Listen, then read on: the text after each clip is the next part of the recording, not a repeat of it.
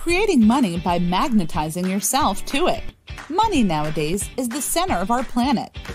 Everyone works for it, dream about it, yet very few own a ton of it, attracted in a way that becomes an endless stream.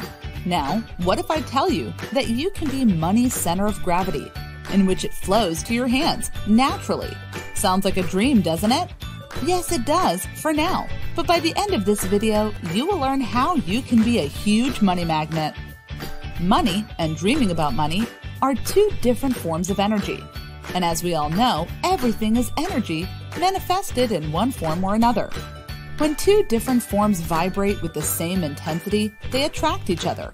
For instance, if you don't dream enough about money, if you don't visualize it intensely, you won't get the amount you wished for. So, start now. Visualize yourself as a pond and money as a waterfall that pours into you. Be creative. Imagine different scenarios where money streams towards you. Go wild. And that's the first step. Second, you attract what you focus on.